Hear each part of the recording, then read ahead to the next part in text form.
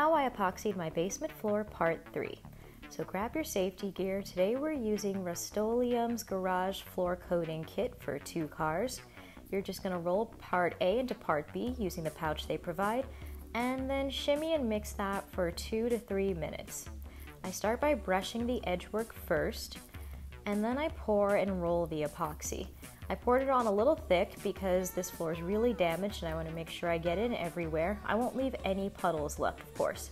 I turned off the pilot light of the boiler and hot water heater before I began this, and as I'm rolling, I want to back roll over my mark. So if I roll horizontally, I want to roll vertically over the marks I made to prevent any streaking from making it difficult to clean the epoxy later after it's dried. And then, once we're done, Ta-da!